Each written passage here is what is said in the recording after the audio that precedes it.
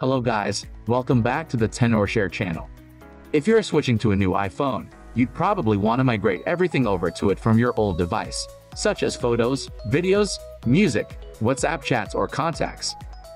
In this video I'm going to show you how to get it done without using iCloud, iTunes, or a computer. So, let's get started.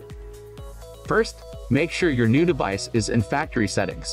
If not, you can head to Settings, General, Reset, then erase all content and settings.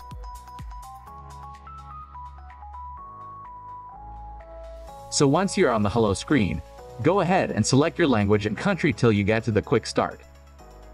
Press the power button off and on to invoke the Quick Start on your old device. After scanning the image on your new phone, move until you get the data transfer screen.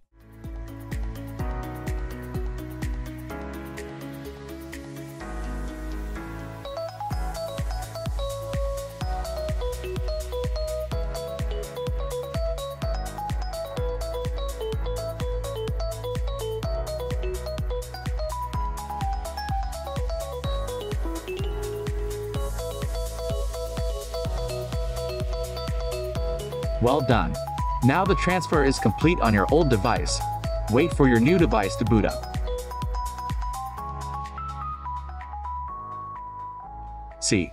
All your data, including apps, photos, music, videos, WhatsApp chats and contacts are on your new device now. If you have difficulty using this feature, iTunes will be another option. All you need to do is connect your old phone to the computer, then go ahead and back it up to the computer instead of iCloud. Once done, attach your new device to the computer, then restore the backup to it.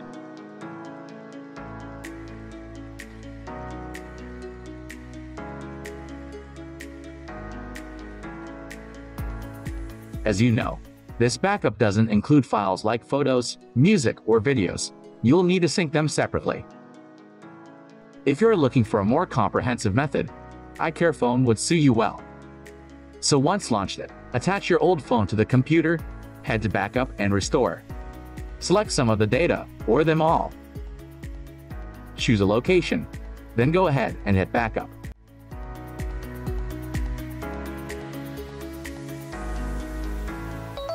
Once done, you can view backup data like this.